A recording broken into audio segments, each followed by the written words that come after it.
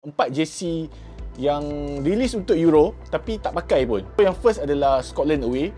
So sepanjang kejohanan Euro memang Scotland hanya pakai home saja. Dia tak pakai away. Untuk JC kedua adalah Sweden away. Sweden hanya pakai JC home saja. So bagi aku agak rugi sikit.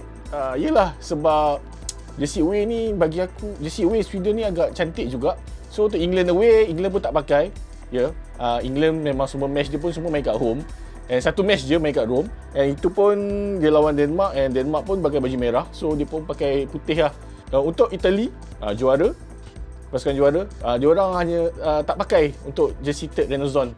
So jersey Renaissance ni Third kit ni uh, Hanya dipakai semasa qualifying match je lah. So kalau nak tengok lagi Lebih banyak lagi video-video tentang Euro Jersey-jersey lokal Dan juga jersey-jersey sekitar Asia Tenggara Korang boleh tengok lah dekat uh, channel aku Farhan Rostan TV uh, di segmen Borak JC.